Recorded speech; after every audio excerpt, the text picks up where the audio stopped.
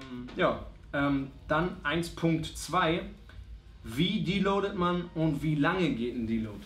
Und ich würde auch sagen, wann deloadet man. Also ähm, ich persönlich. Genau, also wie und wann deloadet und wie lange. Genau, also äh, wollte ich noch anhängen. Ich, ich fange einfach mal an. Ich persönlich ähm, bin jemand, ich, ich, ich versuche natürlich auf meinen Körper zu hören und das Ganze wirklich gut einzuschätzen. Ich trainiere aber selber auch nie. Wenn ich nicht weitergekommen bin, habe ich das Programm gewechselt. Ähm, ist aber auch tricky. Also das heißt, ich wollte es halt einfach natürlich auch ausprobieren. Also bei mir war es nie so im Vordergrund, dass ich gesagt habe, ich muss jetzt sofort meine 300 Kilo heben, sondern ich habe halt äh, Juggernaut ausprobiert, ich habe halt Small-Off ausprobiert, ich habe halt Shaco ausprobiert, ich habe halt dies ausprobiert, das ausprobiert und ähm, letzten Endes war halt immer, wenn ich an irgendwo an einem Punkt angekommen bin, wo es halt einfach nicht mehr weitergegangen ist, habe ich was anderes gemacht. Ja.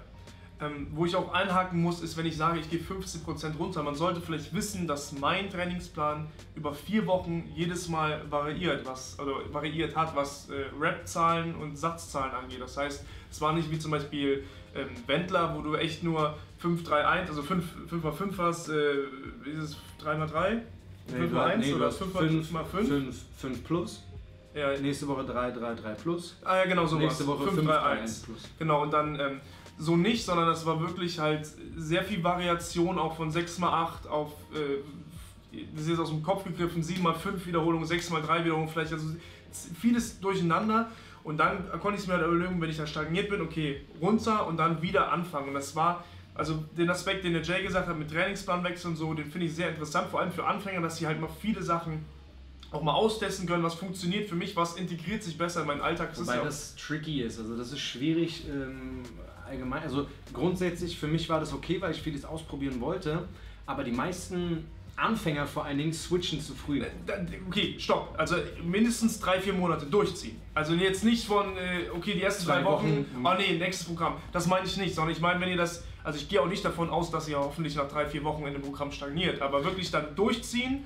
Ähm, von mir aus, wenn ihr nach zwei Monaten stagniert, nochmal ein bisschen tiefer anfangen, nochmal durchgehen. Aber ähm, das ist ein, eine sehr gute Methode, sage ich mal, um neue Trainingspläne kennenzulernen. Wenn man, sage ich mal, nach drei, vier Monaten stagniert und sagt, okay, jetzt hätte ich mal Bock auf was Neues. Ähm, Das Gute ist halt, dass man damit natürlich auch gucken kann, ist man eher so ein Intensitätstyp oder eher so ein Volumentyp. ja. Na, Also gibt ja, gibt ja ein paar Leute, die halt unglaublich, unfassbar krass auf Intensität abgehen und andere wieder unfassbar krass auf Volumen. Und äh, klar hat Brad Schönfeld äh, äh, die Studie daraus gebracht, dass halt sozusagen einfach das Volumen ausschlaggebend ist, solange man über 65% trainiert. Und ähm, manche Leute kommen halt mit inten höheren Intensitäten besser klar und geringerem Volumen und andere haben halt krassere Gains bei weniger Intensität, aber höherem Volumen. Ja, Ja, so. also kann man, denke ich mal, so stehen lassen. Die zweite Frage von ihm, sozusagen der zweite Punkt. Woran erkenne ich ein beginnendes Impingement in der Hüfte oder in der Schulter? Sehr geniale Frage. Also Schulter, eigentlich muss man sagen, also zum Beispiel, wenn es so anfängt, plötzlich Sehnen zu springen. Und das, bei mir war das so, bei meinem Impingement. Plötzlich haben so angefangen, so Sehnen zu springen und dann ähm, hat es halt immer mal wieder so vorne wehgetan und ich habe halt weitergemacht, weitergemacht, weitergemacht. Dein Körper gibt dir ja Signale. Und ähm, Hüfte, glaube ich, ähnlich, ja, wenn du irgendwann so plötzlich aus der kalten einfach nur eine Luft, also eine Kniebeuge ohne Gewicht machst und Schmerzen in der Leiste hast, dann äh, glaube ich, kann es äh, auf jeden Fall darauf hindeuten, dass da irgendwas nicht, im, nicht so richtig funktioniert. Und ähm, also ein Hüft-Impingement, ich weiß nicht, ob du jetzt auf dieses Cam-Type oder Pinzer-Impingement irgendwie abspiel, abfährst, aber ähm, da, sind, da sind natürlich, also man, man, man merkt das, wenn man halt natürlich eine Kniebeuge macht oder generell und das halt irgendwie in, und auch beim Laufen und Gehen immer irgendwie in der Hüfte wehtut und ähm, man generell einen dauerhaften Entzündungsprozess hat. Also quasi am laufenden Band irgendwie mit der Schulter Probleme und man muss sich extrem lange aufwärmen und machen, bis man da irgendwie sich schmerzfrei bewegen kann. Ähm, und äh, das ist, glaube ich, so die Entstehungsgeschichte. Der Körper gibt dir schon, ist ja nicht so, man wacht morgens auf und plötzlich hat man ein Impingement. Da hat man eine ganze Weile lang irgendwelche ähm, Warnsignale vom Körper ignoriert. Genauso wie ein Achillessehnenabriss. Ja, da hast du schon ganz lange Probleme mit der Wade, mit dem Schienbein, ja. irgendwas und die hast, du hast schon Probleme die ganze Zeit und dann irgendwann Peng. Aber das ist dann nicht so, öh, auf einmal ist meine Achillessehne gerissen, sondern das, das kam ja dahin. Ne? Und genauso ähm, ist es halt auch mit dem Impingement in der Schulter. Man ignoriert bestimmte Sachen und denkt sich, ah, ist schon nicht so schlimm, ist halt leicht gereizt gerade, mache ich mal weiter. Und dann irgendwann hat man halt ein ausgefahrenes Impingement. Ja, also ich kann es nur bestätigen. Also ich meine, der Körper hat, hat diese Methode Schmerz, um euch eben mitzuteilen, dass was nicht stimmt. Man sagt zwar oft, auf den Schmerz drauf trainieren, rein trainieren, weil so sage ich immer Muskelkater oder so eine Scheiße, weiterballern, so, ne? nicht drauf hören. Aber letzten Endes bei so Geschichten, wenn ihr das dann auch nach dem Training noch habt, ihr, ihr wollt ein Glas aus dem, aus dem Schrank holen und merkt, ah, oh fuck, was ist das denn? Ein bisschen viel Brust trainiert. Aber beim nächsten Mal einfach wieder weiterzumachen, ähm, das ist so der Punkt, wo man echt am Anfang, vor allem so früh wie möglich, ja, selbst wenn ihr dann mal das Training ein bisschen zurückschrauben müsst, so früh wie möglich, wenn ihr merkt, okay, irgendwas, es tut weh. Sofort an der Bewegung arbeiten. Sofort gucken, gucken, was ist die Ursache, was kann es sein und ähm, ja, dran arbeiten. Das ist so an sich, das ist so leider Schmerz erst immer, wenn schon irgendwas nicht mehr richtig läuft als Signal, aber das ist so mit das Haupt- und einzige Signal, wo ihr wirklich sehen könnt, okay, stopp. Jetzt erstmal nicht steigern oder weitermachen, sondern gucken, wo ist das Problem. Ja, ist ja. leider so. Also ich denke, also woran es am ausmachen kannst, ist einfach Schmerz. Ja, dass, du, dass du Entzündungen hast, dass du Schmerzen hast und bei entsprechender ähm, Bewegungsmotorik, bei entsprechenden Ausführungen hat man eben oder begünstigt man die Entwicklung eines Impingements. Es heißt eigentlich ohne Grund Syndrom. Ja, man man kann es nicht so richtig erklären. Ähm, oftmals hilft es, einfach sich ein bisschen zu triggern und zu gucken und wo es halt herkommt. Ja? Dass man, ähm, äh, ja, warum auch immer, schaltet der Körper halt dann irgendwie aus irgendeinem Anlass einen Muskel mehr runter als den anderen und dadurch hast du dann schon eine, eine Schiefstellung, trainierst einfach fröhlich drauf äh, weiter und dann hast du halt irgendwann so diese Reizung, die du dann ignorierst und dann entwickelt sich das immer weiter, bis man halt seinen Arm gar nicht mehr schmerzfrei heben kann. Ja. So. Gut. Drei. Drittens, du hast gefragt, wie geht man vor, wenn man eine neue Übung lernt? Ne? Splittet man die auf oder lernt man die am Stück? Ist, glaube ich, auch mal wieder nicht so wirklich eindeutig, nicht eindeutig. Zu, zu, zu beschreiben. Wenn du jetzt zum Beispiel olympisches Gewichtheben machst, dann lernst du natürlich erstmal die Übung in Teilschritten, weil es eine sehr komplexe Übung ist.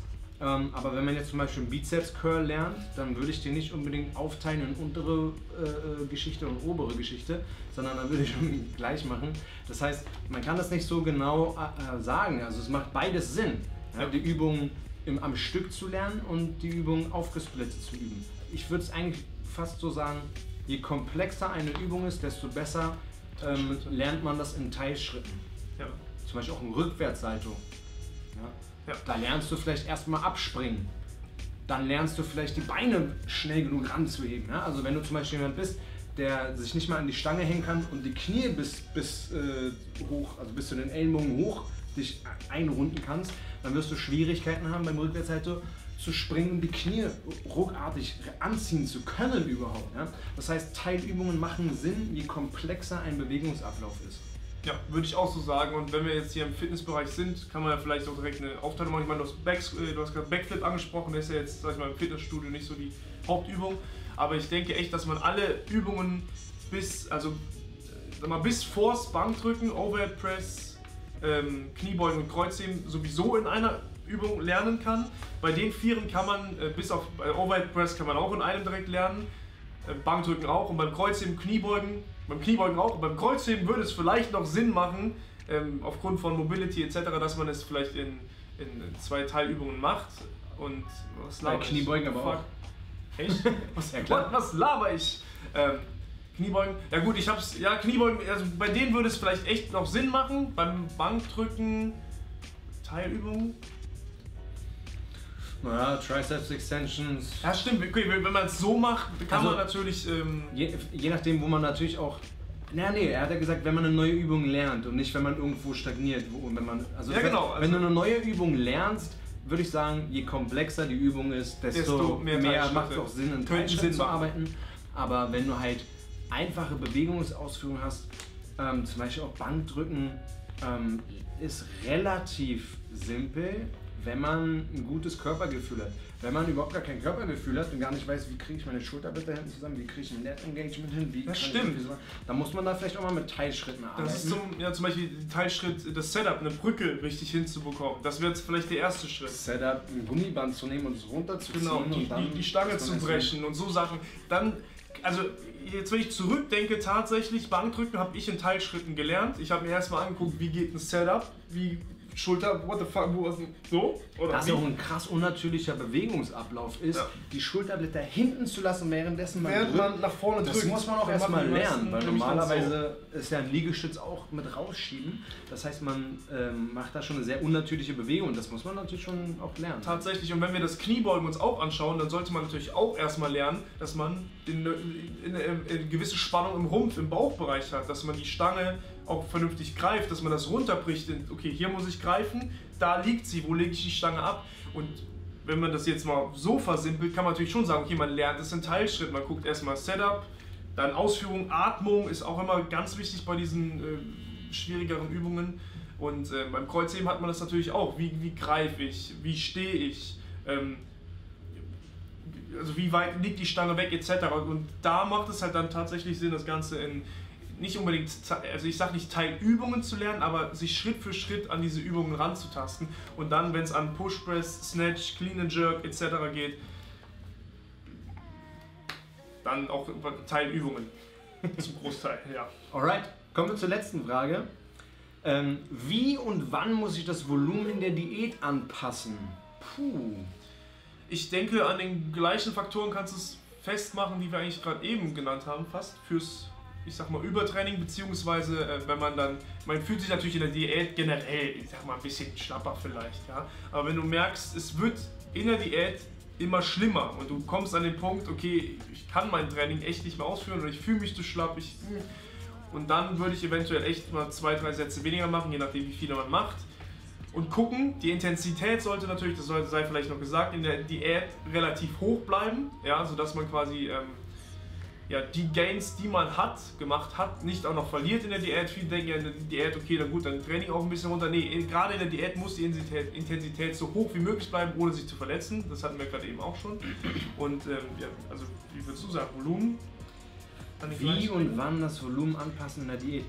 Also erstmal muss man ja auch sagen, dass ähm, da hat dieser Baumeister aus der California University sehr viel zu gemacht, was so Willpower angeht. Das heißt, dass man sozusagen in einer Diät schwächer ist, hat nichts damit zu tun, dass man tatsächlich weniger Leistung erbringen kann, sondern dass man mental ausgelaugt ist und deshalb es nicht mehr schafft, so aggressiv ins Training zu gehen, weil man sich schon die ganze Zeit ähm, die, die Willpower sozusagen schon daran äh, zugrunde geht, dass man den Kuchen ablehnt, dass man die, die Schokoladenriegel ablehnt, dass man die Kekse ablehnt, dass man äh, kein Burger isst, was weiß ich was.